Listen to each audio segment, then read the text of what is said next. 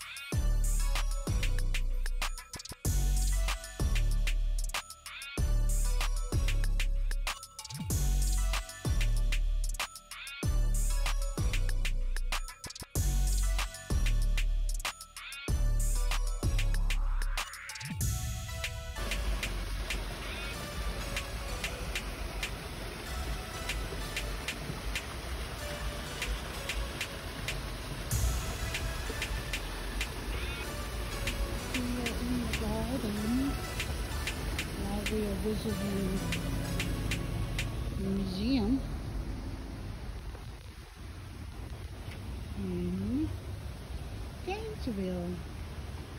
Quente pra fora.